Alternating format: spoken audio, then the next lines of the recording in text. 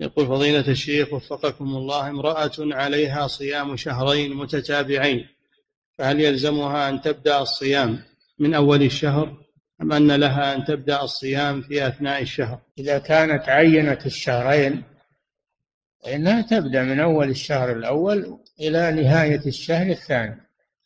أما إذا كانت ما عينت الشهرين نذرت أن تصوم ستين يوما مثلا.